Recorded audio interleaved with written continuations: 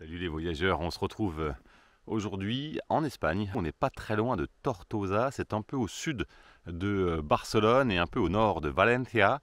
On est sur la Via Ferrata Peñaflor dans un très beau cadre avec une grosse garrigue et euh, on va s'aventurer sur un parcours qui fait à peu près 260 mètres de dénivelé positif.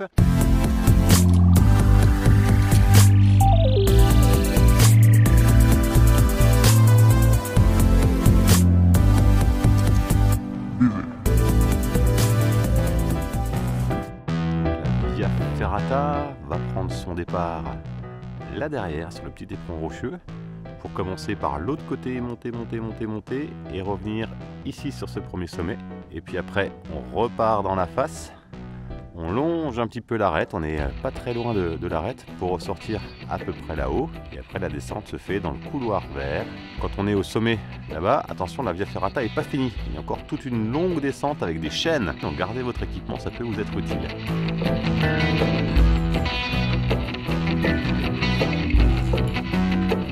Pour accéder à la Via Ferrata depuis le parking, il manquerait peut-être un ou deux panneaux pour nous emmener euh, à côté de l'élevage de volailles.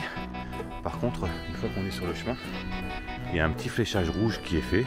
C'est assez facile à suivre.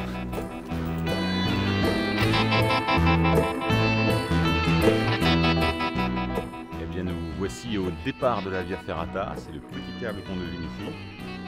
On a mis 25 minutes.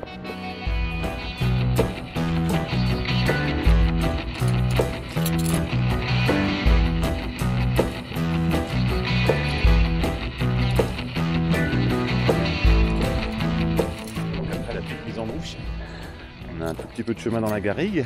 Je ne sais pas si le reste sera du même acabit, mais euh, les 15 premiers mètres qu'on vient de faire, c'est un équipement très montagne.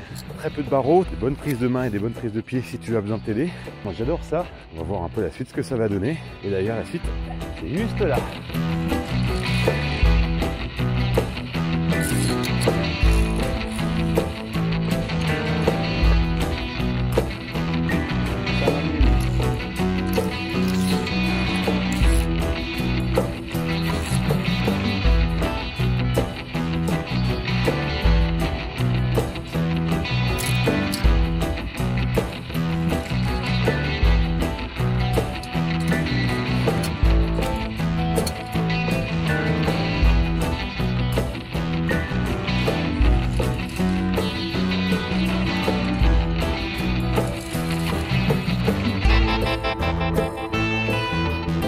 J'avais de bons commentaires, mais je m'attendais pas à ce que ce soit aussi bien. hein. Elle est vraiment belle.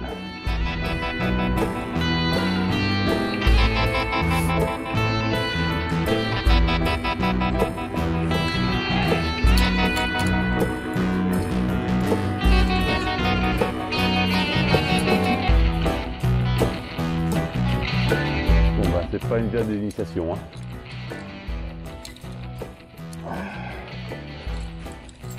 Indéniablement.